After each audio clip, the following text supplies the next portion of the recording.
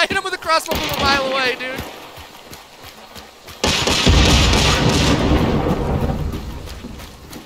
Careful, they have shotguns, I think. Shit, I didn't have any bullets either. He died. He died.